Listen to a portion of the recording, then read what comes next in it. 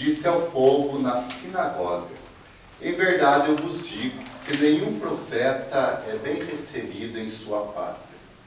De fato eu vos digo: no tempo do profeta Elias, quando não choveu durante três anos e seis meses, e houve grande fome em toda a região, havia muitas viúvas em Israel. No entanto, a nenhuma delas foi enviado Elias, senão a uma viúva que vivia em Serepta, na Sidônia. E no tempo do profeta Eliseu, havia muitos leprosos em Israel. Contudo, nenhum deles foi curado, mas sim Naamã, o sírio. Quando ouviram estas palavras de Jesus, todos na sinagoga ficaram furiosos.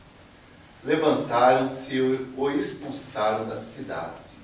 Levaram-no até o alto do monte sobre o qual a cidade está construída, com a intenção de lançá-lo no precipício.